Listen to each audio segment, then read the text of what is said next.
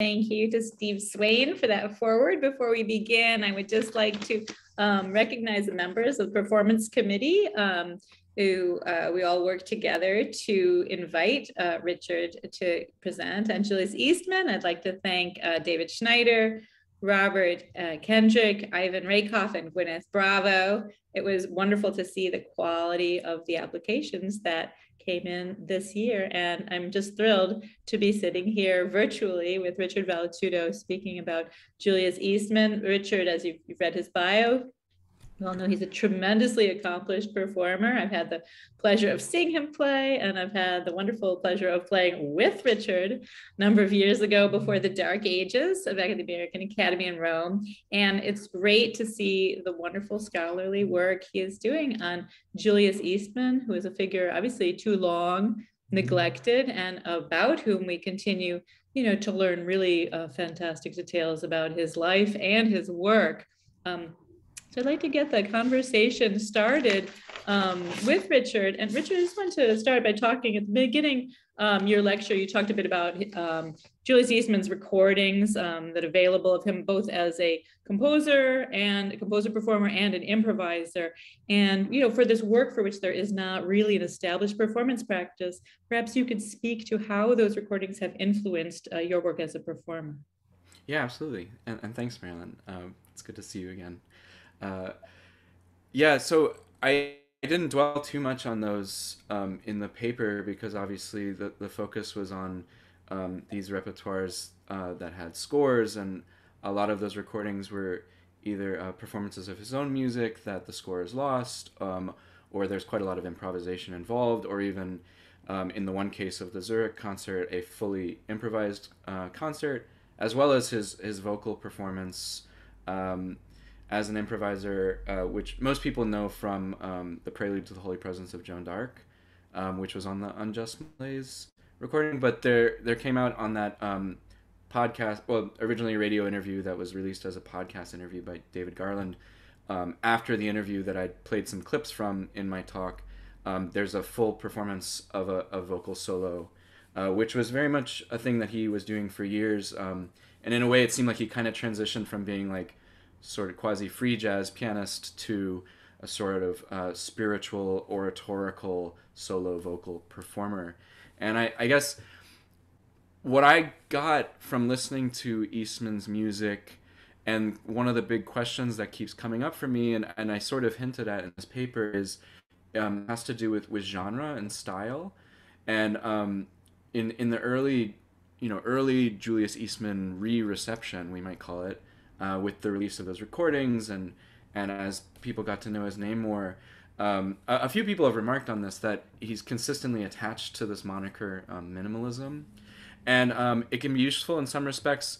Um, but I, you know, as with any kind of naming process, whether it's like style, genre, or what have you, um, whether it's coming from an outsider or from the composer themselves, um, there are these like evocations of, a sort of a entrained uh, approach to the musical utterance, right? So with Eastman's music, you know, specifically for a piece like Piano 2, I was really struck by, um, you know, the score has a lot of information, but obviously there's a lot of information missing.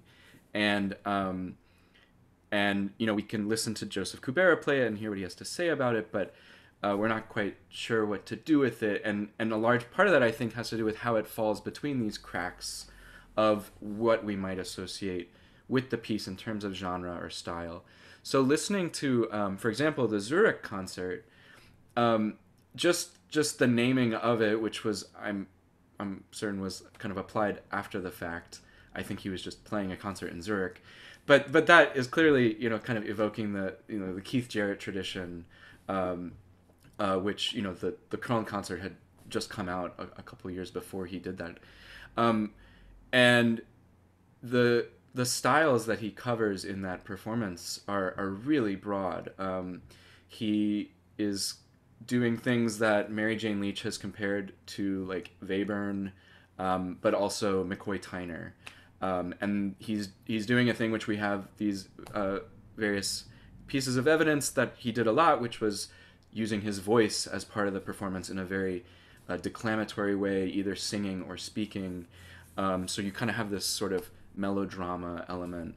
Um, and then there's also these these bits and pieces where it seems like he's drawing on just this vast repertoire of traditions and works that he had experienced up to that point as an interpreter of scores, but also as a collaborator with um, folks such as Meredith Monk and Arthur Russell.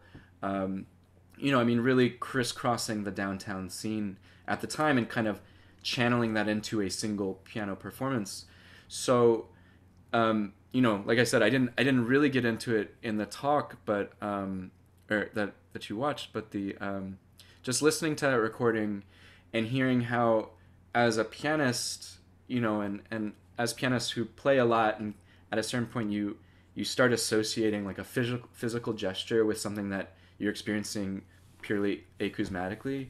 Um, I I noticed there's there he was bringing like what we would call like a, a different keyboard styling um, to essentially what we could conceive of as the same piece.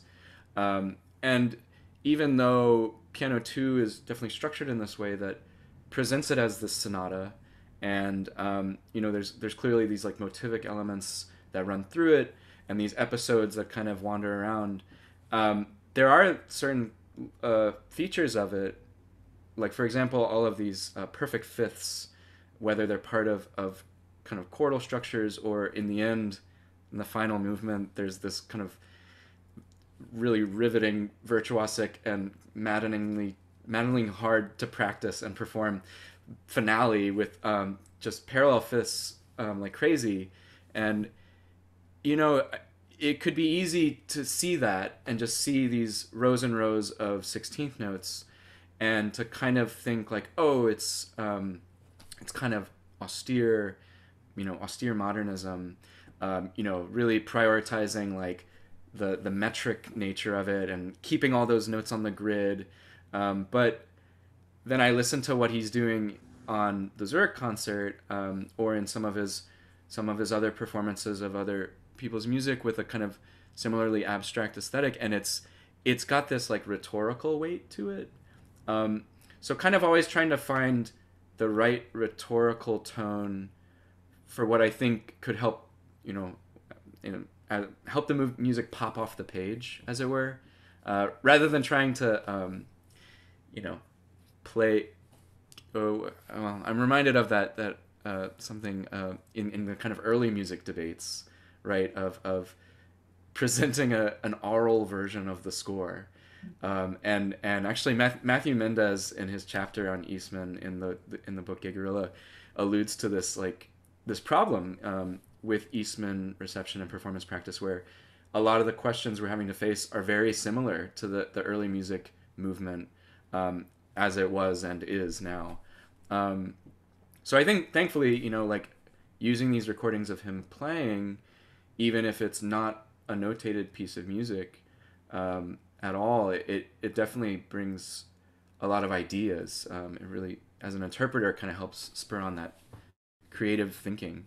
It was, it's kind of interesting to me because you know Eastman cast such a wide net, right? I mean, he had this tremendous familiarity with so many different kinds of music, and so we have this, you know, this very um, broad scope of his own interests and fascinations, and yet you know this sort of odd assortment of his own pieces and his own recordings, you know. So it's like we have too much sometimes and too little, right? There's so many, right. there's so many indications of things that he was well versed in and fascinated with, but then how do we apply that to our own performances? I was wondering if you could, because I'm just curious myself, you were mentioning that before leaving the country shortly, you have been combing through the archives in Buffalo and in Eastman, finding these old recordings of Eastman as even an ensemble player. Maybe you could um, talk a little bit, maybe more about some of these interesting finds and things that you've discovered um, that sort of document these different aspects of Eastman as a performer as well as a composer. Yeah, d- definitely. Um, yeah, it's interesting because I I had been in conversations with um, the University of Buffalo library and and about visiting those archives several months before the pandemic, um, and then of course I didn't make that trip um, until a few weeks ago, which was a little too late to really incorporate anything into this paper in terms of like what my experience of those works were. But um, you know, this this paper in part uh, lecture recital, but you know, it ended up being kind of a long document. Uh, will will kind of turn into a chapter of my dissertation, which is on on Eastman, and um, so listen, you know, listening to those recordings. Uh, thankfully, I don't feel like I, uh, you know, got ahead of myself and then listened to some things and I was like, oh, I was completely wrong. I might, I might end up changing my mind about that. But one of the things I got from listening through those archival recordings, which really, I mean, it, it just surprised me once again, just in those few short years uh, in Buffalo, how much music he played that we wouldn't necessarily associate him with. Um, kind of like the point I made in the paper about his affinity for the music of, of Robert Palmer, but um, he was doing, you know, everything that was uh, considered avant-garde music um, from, you know, Europe and America in the in the late '60s and '70s, um, playing uh, Stockhausen, doing doing uh, text works by Lucier um, some Bernard Rands with um, with Takahashi, and um, I mean, I, the list goes on and on. But one of the things that always struck me, and, and this is corroborated by a number of, of written accounts, is this kind of immediacy, um, a kind of uh, like a, a clearly a clearly honed pianistic thinking, um, but like an, an approach that prioritizes like the immediacy of gesture. Um, and uh, like i kind of said earlier like a sort of emphasis on um, musical rhetoric. Um, even in even in these kind of like hyper notational um, works of the the modern avant-garde or like high modernism um, it's really about it seems like to me it's really about communicating something for maximal effect. And um, it gets more complicated like as you said like he casts this wide net um, so in his own works i i'm really coming to find uh, through my study and this is an idea i'll have to really develop further moving on but uh, i i think at all times he is kind of doing a a um, cross reference or, or like a kind of everything is sort of a parody of something else in a way. Um, so we see this in some of the works that are really well known, uh, you know, using quotation in places you wouldn't expect. Um, you know, a, a Bach's uh, Ein fester Burg showing up in Gay Guerrilla, um, which is kind of an allusion to Debussy's En Blanc et Noir, which Hisama uh, has pointed out. Um, Elie Hisama. So it's just like I love the Mompou reference too. Or the mom. I mean, yeah, the Mompou thing was just like uh, an incredible find, and I, unfortunately, like, it seems that he was really into this person and probably was playing a lot of those pieces, which, you know, are are in in a larger sense of that kind of pianistic tradition, much less played than many other things.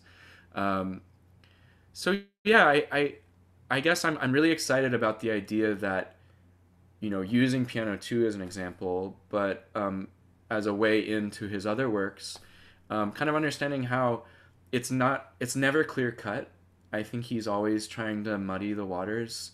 Um, actually, I, I, see Sumanth Gopinath in, in here in attendance, and um, I very recently read and, and briefly cited um, his his essay in the new book that came out um, um, just what was it last year so. But I, I, I really like what uh, Sumanth's ideas of, of there's there's all these binaries and I think hi I think uh, Eastman is uh, alongside Sumanth I think uh, is like encapsulating both but also flipping them in a sort of a, an attempt to navigate this like in between space um, so like um, essay was like Julius Eastman against minimalism, but using the word against in the, the dual the dual sense as an opposing, but also leaning against or, or being supported by. And I, I think it's a really beautiful, a really beautiful um, formulation and kind of metaphor for how I, not only I don't think he was only doing that with minimalism. I think he was doing it with everything he did. Um, even you know you look at like the disco he did with with Arthur Russell, and he's kind of doing these wild operatic things, but then these kind of uh, you know very sexual grunting sounds, and then he'll play these kind of roiling clusters on the organ. Um, and that was just like a studio session where they're like, you know, just do something. And he he gave him a bunch to work with, even though he, he knew it's like we're making a dance record. Um, so I think you know, it's always exciting. I clearly I, I get kind of jazzed up just talking about it because it's like there's there's so many ways to go, but I, I kind of don't feel like we'll ever pinpoint like an answer to a lot of the big questions we might have about these things. It's a very dazzling kind of frame of reference, and you know, yeah. read your paper and listening to your performances. You know, I think you you bring all of that, those references, and you know, it, what we might call postmodern, or or or in a in a very um, exuberant way. And I was wondering, maybe I, I didn't I didn't ask you this question previously when we were um, preparing for this talk, but you know, you mentioned Rzewski, and I, I think that's such an interesting pairing or duo, the two of them, you know, Rzewski, who's also this virtuoso who sort of dabbles elegantly in so many different styles. Um, and yet Rzewski, who became sort of this like massive superstar of this. And then you have somebody like um, Eastman, who is analogous in some ways, but had, you know, such a different uh, sort of a different character to the way he used his materials. And I, I'm wondering if you could talk a bit more about the relationship between the two of them or how you see, I'm not sure, you know, you probably, I don't know if you worked with Rzewski as well. Um, no, no, uh, you know, how, you, how you see the, the two of those figures um, as opposed or against or, or, or something. Yeah, yeah, no, I mean, it's, it's a great question because um, it comes up a lot uh, in you know people's accounts of of Eastman, the relationship with Rzewski. Um, actually, Kodwo Eshun's uh, essay in that same collection, um, "We Have Delivered Ourselves from the Tonal," it's called. Um, but Kodwo Eshun um, kind of opens up his essay saying the the closest parallel I hear to this music is that of Frederic Rzewski. um, and and yet like uh, from everything I've looked at, it's very hard to find much about what their relationship was beyond collegial. Um, there's some accounts of, of Rzewski, you know, definitely commenting very favorably on Eastman's performances of his music, but it was largely as as the reciter in the in the piece coming together. Um, so I I'm not I'm not quite sure what to make of it, um, other than yeah I, I think they both were experimenting with different approaches to what we would now call postmodernism. Um, but it, it is a little, you know, it this is one of those places, and, and there's many many facets of studying Eastman where, you know, you, you turn this corner and then you're confronted once again with the fact that it's like, well, what what was it that enabled Rzewski to go on and have the career he had, and Eastman, who is doing a lot of the similar things, especially when it comes to, um, as I mentioned in the talk, like this kind of marriage of of a sort of pattern based minimal minimalism with like highly political content you know definitely charged to make a message that was um, topical. And you know it's time and time again you know the kind of clearest answer is just like there were systemic injustices um, there were various types of you know barred entry to certain establishments and institutions that that Eastman um, encountered, and at the same time, I think Rzewski, as I don't know his work super well, um, I haven't played that much of it, but um, you know it's very much.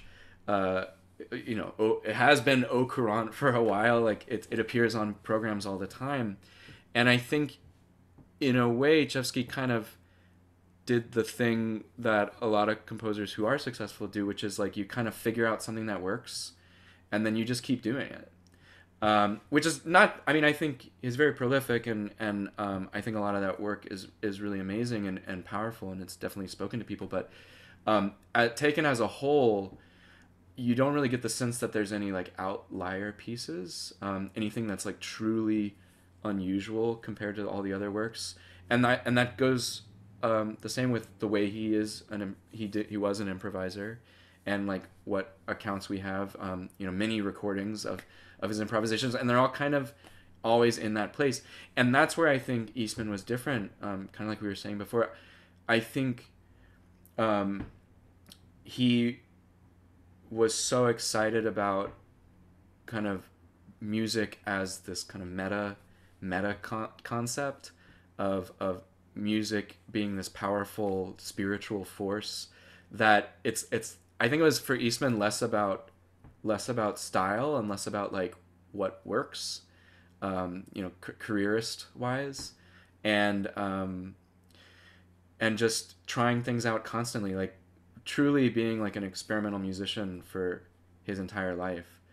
Um, I think there's there's I mean there, I think there's something definitely to that in the sense, you know, I think there are a lot of parallels between Eastman and Rzewski. I, I kind of tend to agree with you that not to speak, you know, ill of the dead, but I guess they're both dead. Um, but, um, but, you know, Rzewski was very much a crowd pleaser. And I think he was a provocateur, but in a more limited fashion. And I, I think there is that significant angle of Eastman where he he was willing to go a little too far sometimes and he wasn't uh, you know i don't think his first uh he wasn't always thinking about accessibility you know i think he he was trying to stir the pot up quite a bit. And yeah i think and possibly that obviously there were so many factors um, hindering his um, critical reception but certainly he was um, yeah he went he he stepped over the line maybe even for today's audiences. Sometimes we find this music still has this power to shock whereas Rzewski's music is, you know, very, very um,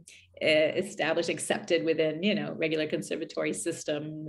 So even as political, it's it's very yeah. political. it's very yeah. And, and speaking of political, it's it is interesting to note that, um, you know, Rzewski's commitment to being, um, I, I can't remember exactly what what he called himself, and but was a communist or, or socialist? I mean, communist basically. Um, but this kind of attachment of ethos to something that is is atheistic and you know it, by by my understanding like uh, if if spirituality or religion comes up in his work it's it's ironic um, or even a cynical commentary. And with you know with eastman we we have a fair amount of evidence that by basically by like 1981 he was really committed to this kind of very personal brand of of of maybe we'd call like a pantheistic spirituality. Um, and at a certain point his works took on this uh, uh, almost like a preacherly tone.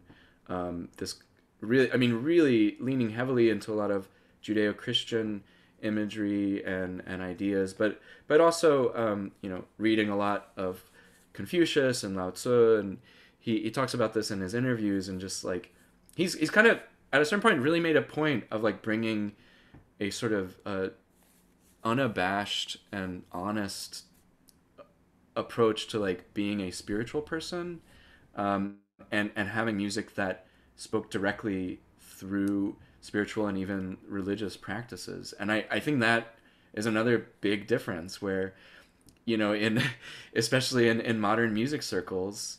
Um, and maybe again, that was another way he was a provocateur. Um, but I, I think it was also something deeper because, to a fault, as we understand it, his commitment to that kind of spiritual living um, and, and even asceticism at a certain point um, not only negatively affected a lot of his relationships, but certainly didn't mesh well with uh, you know neoliberal capitalism and making a career as a as a composer. Um. Absolutely. You know, I want to follow up on a little bit, you know, keeping Rzewski in the discussion, maybe branching out a little to talk about another person who is part of the world of Buffalo, you Morton Feldman. And you know, what do you think was in the water in, in Buffalo at the time? These, you know, these very different kinds of virtuosity, you know, at this same time in American music. Um, so much was changing. Um, can you speak a little bit to like maybe Feldman and and these different forces of, of virtuosity and how you see this having maybe played out now, the reception of their music? Yeah, I mean, it's a great question. I, uh, yeah, the, the Feldman thing um, is, is exciting and also kind of complicated. Um, there was definitely in, in um, Renee Levine Packer's book about the center, um, This Life of Sounds, um, there there's a lot of I mean she writes a lot and and quotes a number of people who were at the center then about how pervasive Feldman's influence was, especially on the fellows, the the composers and performers there. Um, and it was kind of that thing where uh, there's some accounts like at a certain point the composer concerts just kind of all sounded like Feldman. I mean, it was just really influential. But I think one of the interesting and exciting things about someone like Feldman at that time is he also was playing all of his music for the most part. Um, or, or not all of it, but but certainly active as a performer of his own music, um, as we saw with like five pianos, um, which Eastman was on. Um, but I think, in terms of like this kind of new new virtuosity, I I think what I find exciting about the connection between Feldman and Eastman, other than what I discussed, which was this kind of way of abstracting um, personal like religion and, and spirituality in in a in an aesthetic. Um, I think what's exciting is this idea of, um, in most cases, using the piano as as again as like a site of rhetorical utterance and and an emphasis on sonority um, instead of like um, the kind of earlier Cagean practices of of of chance, right? So I mean, leaning into intuition, I guess. And so in a way, I guess I think this idea of like the virtuosity of, of intuition um, and then the performer's job to convey something that is is really kind of hard to grasp mentally um, which like at a certain point with those scores you know the big piano solos of feldman i've i've played a few of them a few times. You've played a lot of them many times. But i i still feel like i don't i don't embark on playing the piece and have a sense of like the full scope. Um, it's it's almost impossible. It's like you know even if you know a city really well you know you enter you get back to the city um, and now especially like i don't think a lot of us would be able to navigate most cities that we know really well without google maps or something. Um, or like you know you can you can talk about i mean i lived in los angeles for a long time. You can talk about la but it's like there's you know a number of square miles of la that i've never even stepped foot in um, you know and that's a separate discussion i guess but just I feel like I know LA. I can navigate it, but um, I, I kind of feel that way about about his pieces, where it's it's a it's a virtuosity of of the experience and the commitment to the music, and so I think that that has a lot of bearing on Eastman's music, and I think especially when he got into the the longer duration pieces um, in the late 70s and and like you know around the turn of the 80s um, using certain very, I mean, extremely clever compositional techniques that um, conceptually are so streamlined. Um, like the idea of just, we're going to use stopwatches, but everything you're doing has a beat to it or like has a pulse. Um, and all of the transitions are organic, you know, to use his word. So the music sounds um, kind of like it's constantly evolving but there's these very clear landmarks for the performers to keep track of while continually re-upping that commitment to the performance so i, I, think that's one of, of many i mean we could talk about this a lot i guess but that's one one of many things that i really see carrying over um, where you the score is a map. It, it's it's simultaneously prescriptive and um, inspirational, I guess.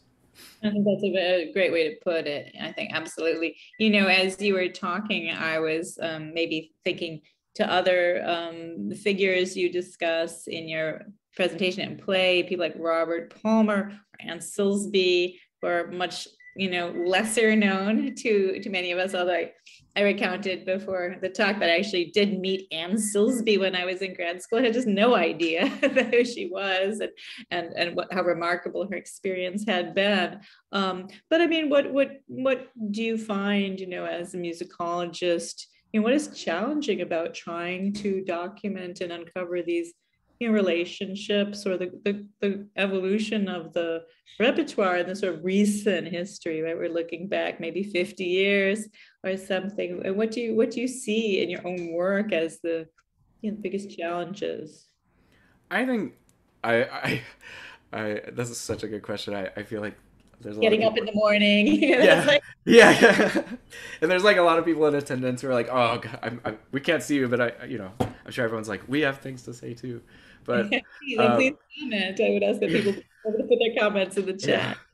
I think in this case, like for this particular project, what is simultaneously like very exciting but also challenging is the fact that um, so much of the archive is still in a state of discovery, um, which is largely because it was so spotty and minimal to begin with that um, these things come, you know, like this book, We Have Delivered Ourselves from the Tonal, it just came out last year, and I, I finally got my hands on the library copy, and it's like all these great ideas about Eastman's music, and some of these things are connected to like what would amount to kind of major major musicological discoveries or um, sharings, and so it's again, yeah, it's simultaneously very exciting um, and really challenging, and and in the case of Palmer and Silsbee, like thankfully, being here in Ithaca, uh, where their um, papers are kept, and a lot of that documentation appeared in my talk. Um, it's it's exciting to know that like I have that archive, but you know, there's no there's no book on either of them, um, and you know, I'm I'm really thankful for like Adam Tendler's work in recording the complete music of Palmer and and really kind of committing to that project of kind of making making his music more well known. Um, and I really hope the same for Silsbee. I'm, I'm, you know, kind of keeping track of all her music that I want to play, and you know, I, I think it, I think it should be out there because alongside Eastman, the fact that he was so dedicated to these composers, um, yeah, again, here's a point of frustration. Like I, I really don't know what the texture of their relationship was we know that Anne and and Julius were friends, but we don't know anything about Robert Palmer in terms of like I don't even know if he met Eastman. Um, he must have, but there's just no account of it. I've I've gone through all his letters, um, at least the ones that exist. So you know, it's that that perpetual problem problem of the archive, um, whether it is robust or um, severely lacking. Um, that's a big part of it. Um, and yeah, just like you know, for music, especially like Anne Silsbee's music, as I looked at more and more of the scores, that there's just no recordings of these, um, including the the two pieces that she wrote for Julius Eastman. Um, I there's not only not a recording of those performances that I know of yet. Uh, maybe one will come up, but no one's recorded the piece at all, and they seem pretty great. Um, but also like I think there's it, it offers opportunities for other types of getting to know people. Um, like as I mentioned, Anne Silsbee committed herself to poetry for you know many decades, and I've read all her poems. Um, they're really wonderful. Um, it you know it's maybe in some respects like not necessarily um, enlightening in terms of like the exact nature of the, her relationship with Julie Eastman and like, you know, when they hung out and what they like to eat. But, you know, it's it's that's where I, why I'm really excited about like the way the field is going now is um, this kind of you know opening up the avenues for a kind of interdisciplinary look not only in terms of um, various um, scholarly practices, but a, a, kind of interdisciplinarity or, or, intertextuality that you can bring to the, the creative practice of these composers themselves. So, you know, it's, I guess, if there was a lot of stuff out there that gave me a lot of information about Anne Silsbee and Julius Eastman and the nature of their relationship, I might not have read all of her poems. But because that was missing, I, I experienced all this great poetry by um, someone who lived in Ithaca, you know, my current hometown for, for many years and was a beloved person in the community, um, not only musically but otherwise. So, um, I'm, encouraging people, just keeping an eye on our, our clock to put questions they might have. Ah, okay. Um, I see it coming. Thank you. A long one. so, um, let me see. Uh, oh my goodness. I wonder if That's we. Great. Yeah, I, I. Uh, um, if everyone can see that, I, I, suppose I don't need to well, read it. Is, it is possible, I think, um, for maybe Luis to allow Sumanth, maybe if you wouldn't mind, just so we could hear your voice asking what looks like a yes. really interesting question.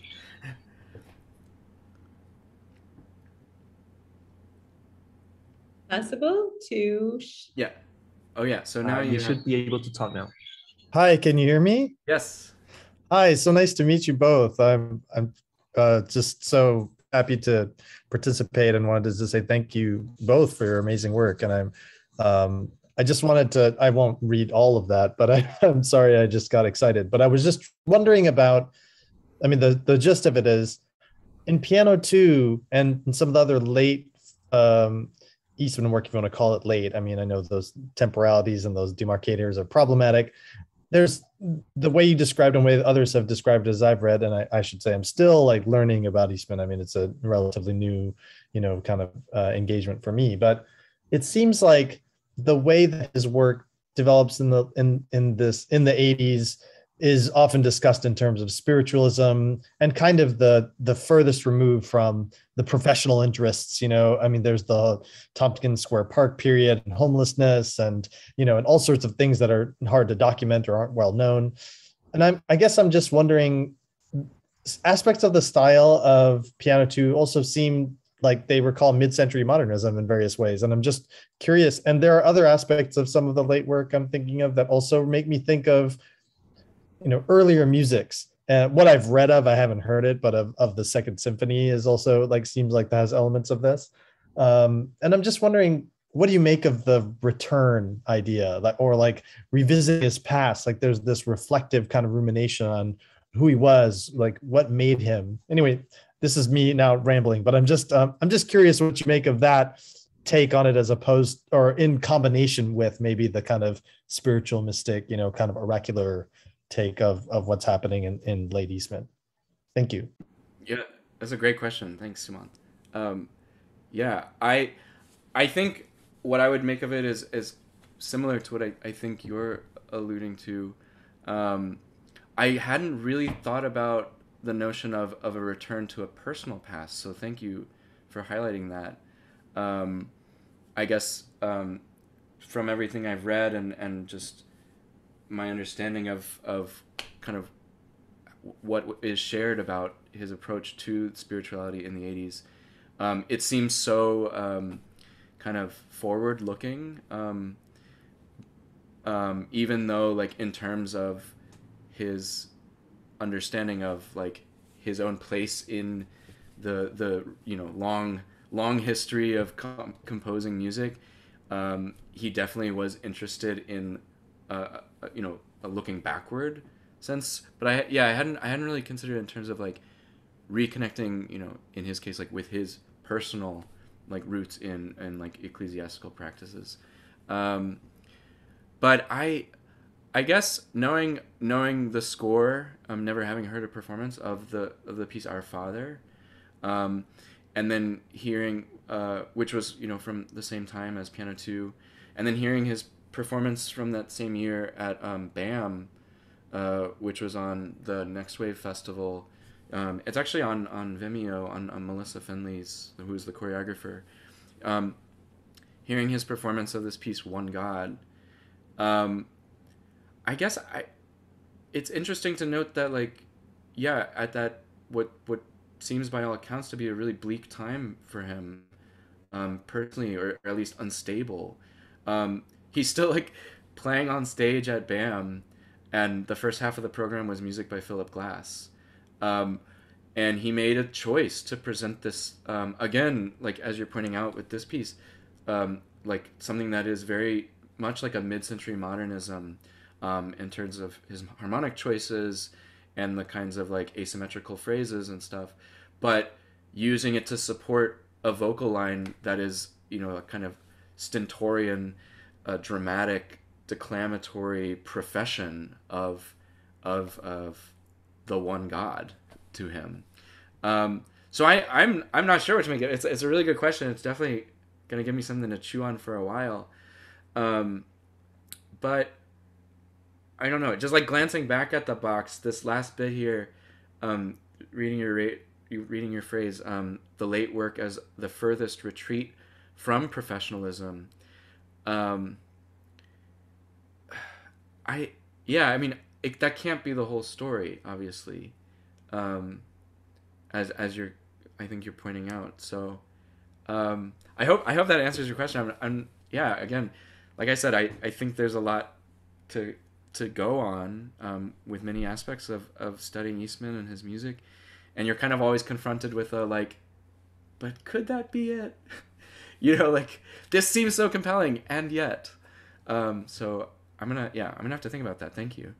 Um, let's see if we have any more questions. I have one, maybe last one, if uh, if there's no one else in the comments. You know, um, Richard, I guess you know the sort of like at the end, say if there's you know one thing you would uh, want to want to say in particular, but one thing I'd be curious about, obviously, diversity debates and the um, that becoming such a priority you know, in concert programming and academic circles, you know, Eastman has become this really you know, held up often, you know, since all the stuff in Philadelphia with Bowerbird and putting forth these recordings, you know, and so he's become this, you know, sort of great symbol of trying to open up the canon. And, you know, how do you feel about his reception um, and how he is being seen? Uh, do you feel he's being I exploited, you know, I mean, I, there's this idea about for what reasons are people interested in Eastman. And obviously, there's so many different ways people come to his work. But I just would, I was just wondering how you feel with these kind of, you know, the commentaries now on diversity and the need for diversifying what's on stage and what's being taught. You know, how do you feel about the way Eastman is being positioned sometimes? It's, yeah, it's a big question. Um, Give it like a three-word answer if you want. I mean, it's a it's a I'll, hairy. I'll say a few more words because I yeah, yeah no, I mean I do. He's a hot wire. I think it's a, it's a live wire. Yeah. Yeah, I, think it's a complex situation, um, largely because um, you know there's there are all these issues with the idea of the canon and what it means to be included in the canon, um, whether you know post facto or or just you know as assumed as necessary. Um, I I'm thinking a lot about Alejandro Madrid's article on on the canon, especially in um, in academic settings, and what what it means to construct a canon, and what it means to like quote unquote bring diversity to a canon.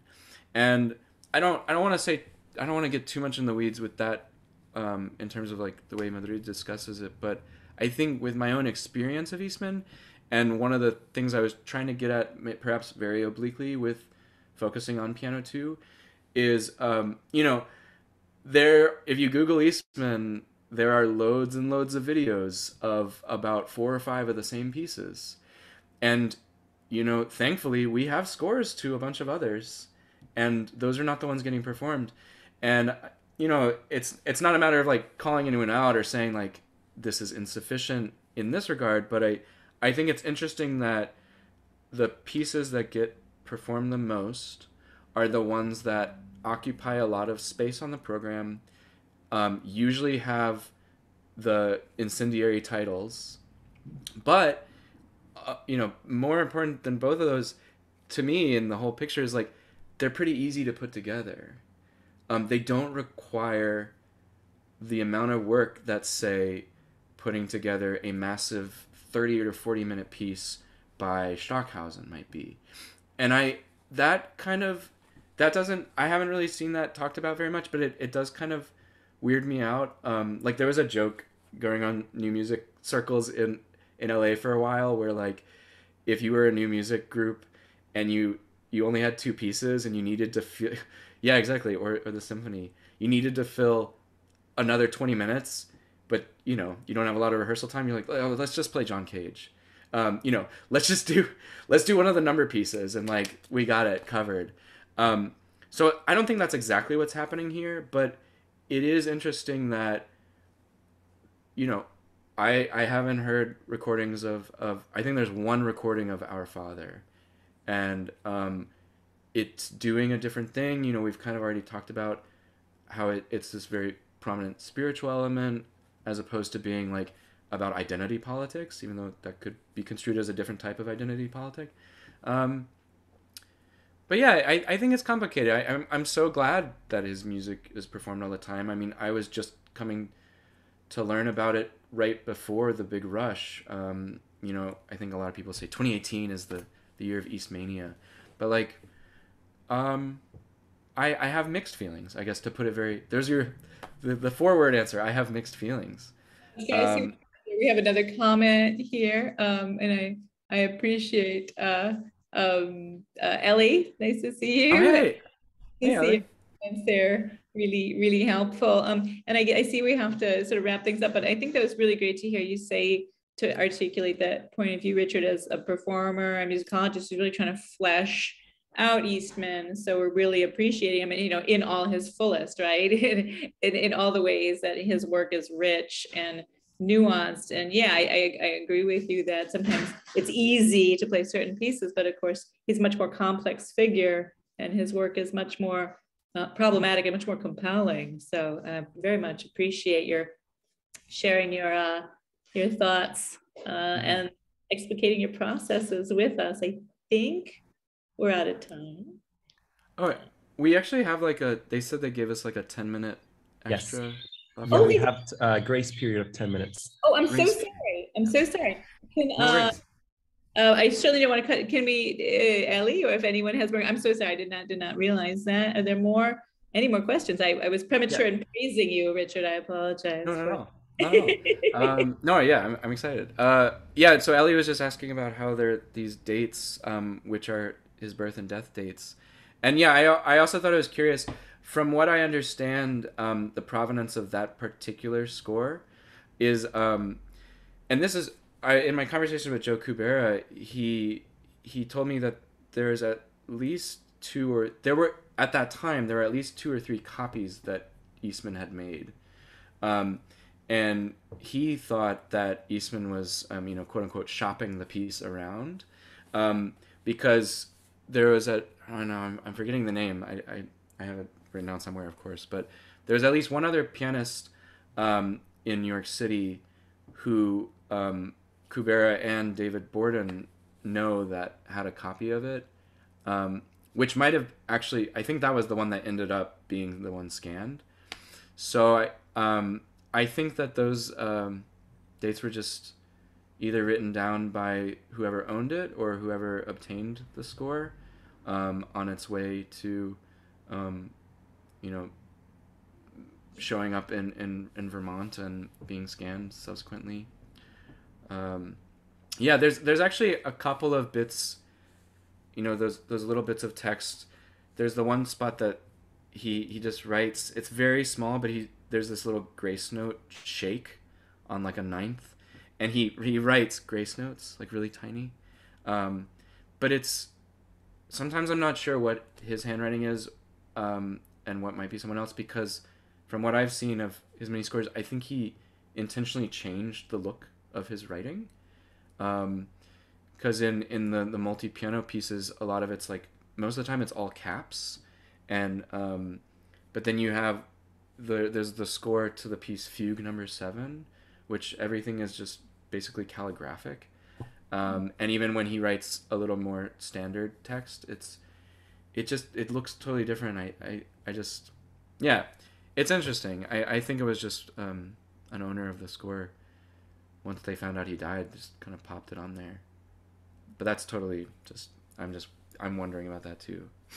Um, I kind of briefly, Marilyn, you, you what you were saying there at the end, it, it just made me think that the one thing I did want to say about Eastman's reception and, and the way his works are being performed is the one thing I would like to see happening more, which wouldn't really happen with a piece like Piano 2, but is definitely a very compelling possibility with many of the other scores, is like um, m- much more idiosyncratic realizations of them. Um, a really early version of that was like the recording of "Stay on It" by Horse Lords, um, which is basically like a jazz quartet out of uh, I think Baltimore, um, and it's it's a, an amazing reading of the piece, um, but it you know it, it's definitely you know if you were looking at it kind of uh, in, in, in an impoverished sense, it's like missing elements of of the original recording. Although, as Matthew Mendez like points out in his chapter, like there kind of is no original version of that piece um, in some respects. But I I think this kind of leads me to just my point, which is that one of the big problems I see with you know, for lack of a better word, this like kind of canonization of his work is a lot of um, and, and it comes from a good place. I don't think anyone's in the wrong here, but a lot of performances are kind of trying to to do what is on that one archival recording that we have of a piece, or to use you know to use even robust scholarship and, and awareness of what's out there to kind of arrive at the definitive version and to kind of to replicate what we think are Eastman's you know intentions. And not that we shouldn't try to do his intentions but um, you know as we've been saying all along like it's complicated and i have a hard time yeah indeed. Yes. Uh, i have a hard time believing that eastman I, I i am led to believe by the way he developed his compositional processes that yeah like as Sumanth's pointing out i think he was in t- trying to avoid Werktrue he was finding ways to make Werktrue impossible. Treue, excuse me. Um, and it's, I think one of the best things we can do, and I, I kind of hinted at this at the end of my talk, is um, make it your make it your own, so to speak. Like I, I think dedicate yourself to the music in a way that shows respect for what he did and what his ideas were. But um, I think Eastman would be delighted to have like some really off the wall realizations and and not to indict anyone, but I just I don't see uh, a major symphony orchestra programming a work and then saying like let's mess this up a bit. Um, so you know I'd, I'd like to see more of that, and I, I think I think the work um, really allows for that and even invites it in a way that that actually feels very true to the score. Um, in, in ways that are completely divergent from the Werktreu concept. So don't need to preserve this in amber quite yet, right? Yeah, yeah, yeah. And we all knows what happens. We all know what happens when you do that. Then you get a park full of dinosaurs, and that's just bad news. That's right. Okay, excellent. Do you have any more any more comments? Yeah, I've I've I've prematurely praised your work, Richard. So I guess I have to do it again. Oh. But really wonderful speaking with you to hear your performance, always inspiring, and um, just really appreciate um, the multidimensional take you've given us on Eastman and his inspiration, the world he lived in. So thank you. Thank you so much. Thank you, Marilyn. Yeah, thanks for the great questions and for leading this, and and thank you everyone for attending. It, it's it's great to see your names here, and hope we can connect in person somewhere down the line. Absolutely. So, thank you. Good night. All right, enjoy the rest of the conference.